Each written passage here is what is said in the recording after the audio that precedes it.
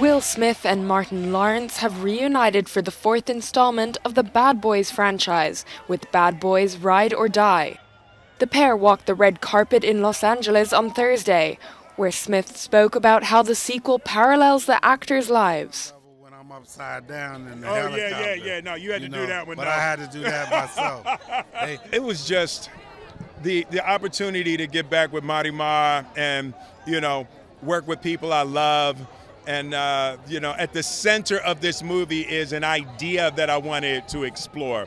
Martin's character in this movie has a uh, spiritual awakening.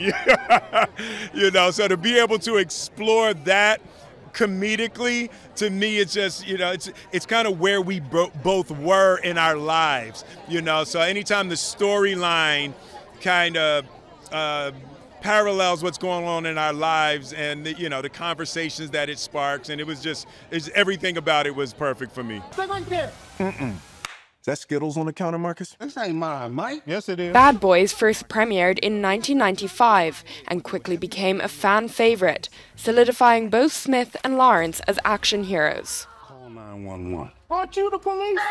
Well, it's a, it's an homage to Michael Bay cinema. I think that if you watch those movies, you see the continuation of the characters that he helped create, and and uh, and there's also you know a little cameo of him, so we have a stamp of approval. But we are students of his cinema, and uh, and I hope that uh, fans of his work will also be fans of the fourth film.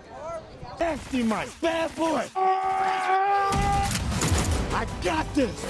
What you don't know?